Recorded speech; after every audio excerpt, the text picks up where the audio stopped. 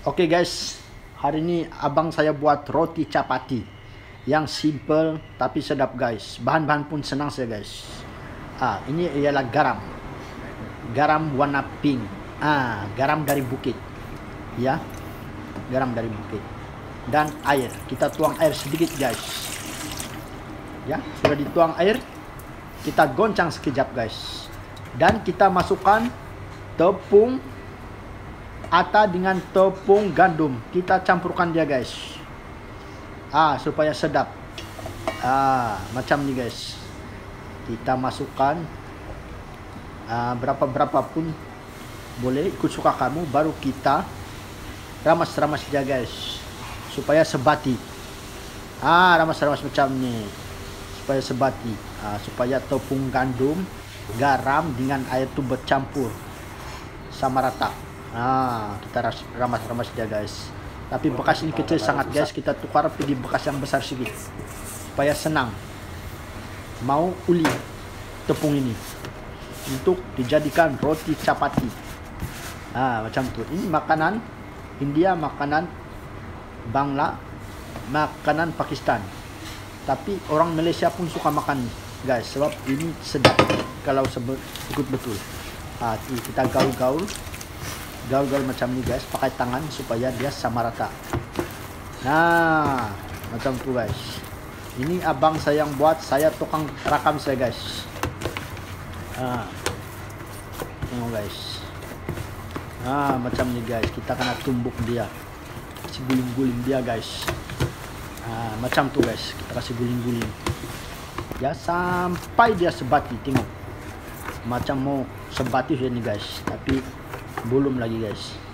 Campur ah kita kena sebati kasih gulung dia. Kita ramas dia kita tumbuk kita picit dia.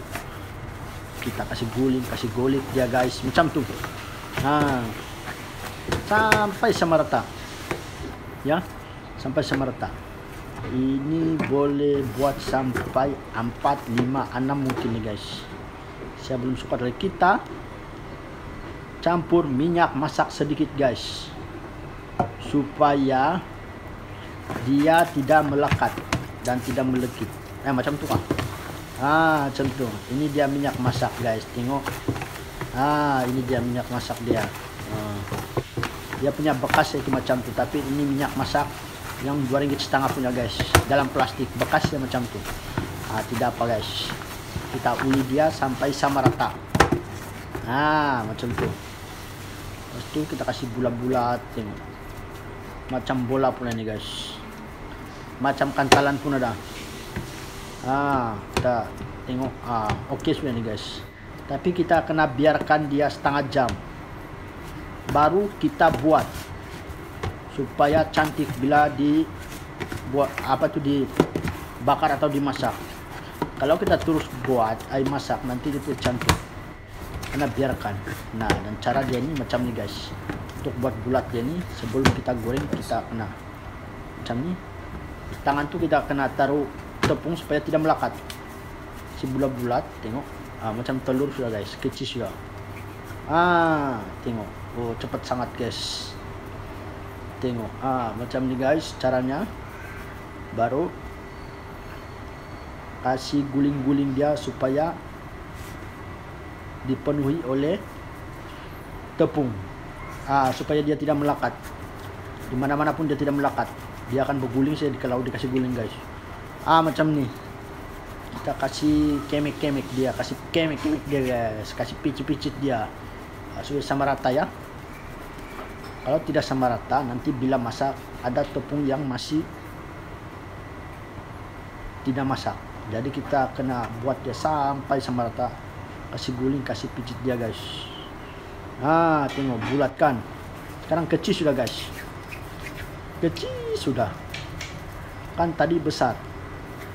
Tadi macam satu sih sekarang boleh jadi 4 5 6 nih. Tengok. Ah macam tu. Taruh tepung guys supaya tidak melekat ya. Ah empat sudah. Dan ini yang terakhir kelima. Nah sekarang kita buat dia capati ya. First kita taruh tepung lagi guys. Supaya dia tidak melekat di tempat apa tuh tempat yang kita taruh nanti. Kita tengok nanti ya kasih guling-guling dulu macam ini guys. Baru kita ambil ah kita uli dia guys. Uli dia sampai besar. Ah kena betul kasih pusing-pusing dia supaya sama rata dan cantik tengok. Ah macam tu kasih pusing-pusing dia. Sampai rata. Tengok cantikan nah.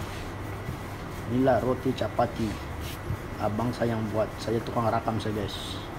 Tengok. Cantikan nah. Tidak melekat pada tepung.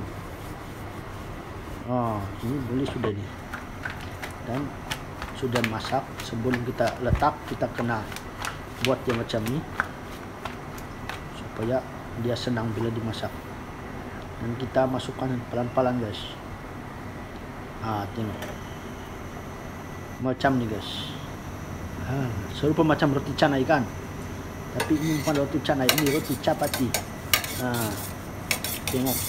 Ah, kita kena kasih pusing-pusing supaya dia sama rata masak. Baru kita terbalikkan guys. Ha, kita terbalikkan kita tengok. Ha, cantikan tengok. Tapi ini belum masak. Dia akan ada macam hangus-hangus sedikit guys baru masak. Ha, kita terbalikkan. Kita tak boleh biarkan lama-lama. Nanti dia hangus. Jadi kita terbalikkan beberapa kali. Ya sampai dia masak. Tengok. Hati-hati guys. Ini memang panas. Oh tu. Cantikan. Tengok. Tu ini buatan sendiri guys bukan India saja bukan Pakistan saja yang buat pandai buat macam ni guys. Orang rumus pun pandai buat guys. Tengok. Ha, boleh buka sudah ni. Untuk buat roti capati cap sabah punya guys. Ha, tengok. Ha, kasih terbalik-terbalik dia guys. Cantikan guys. Bulat pun memang bulat tengok. Ni kalau makan ni satu keping ni boleh habis ke tidak guys? Sebab ini tebal ni.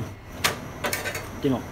Kita kasih terbalik dan ini sudah siap guys. Tengok ah mesti ada bekasnya guys. Tu cantikan.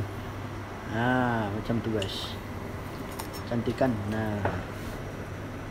Tengok. Ah. Ah ini yang kedua guys. Kedua kah ketiga keempat? Lupa sudah guys. Nah, ini pun sama guys. Terbalikan. Jangan biar lama-lama nanti hitam.